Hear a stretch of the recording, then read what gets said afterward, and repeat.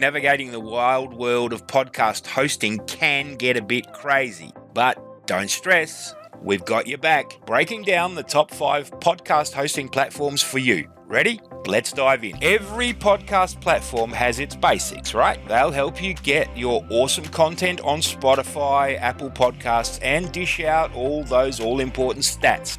But which one's right for you? We're here to spill the tea. Number one, Buzzsprout. New to the game?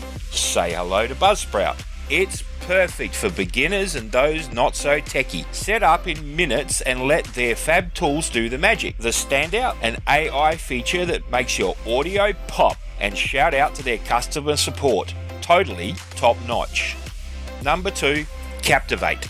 This one's for the real podcast enthusiasts. Created by a podcaster so you know it's the real deal, Captivate is packed with tools for the serious folks out there. Whether it's marketing, episode planning, or guest management, they've got it all for you. Number three, Podbean, a real OG in the podcast world. If you're all about the video podcast or are super tech savvy, Podbean is your jam. With rad features like live streaming, customizable code, and an in app studio, this platform is fire. Number four, Squarespace. Wait, what? The famous website builder? Yep, that's right. Beyond crafting sleek sites, Squarespace now lets you manage your podcast too. Best for business peeps or anyone building their brand. One subscription, two major tasks sorted. Score!